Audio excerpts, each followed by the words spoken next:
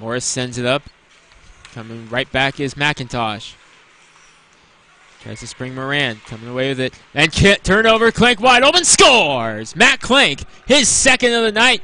And it's a second response for Spokane. Matt Klenk hits double digits. It's 3 3.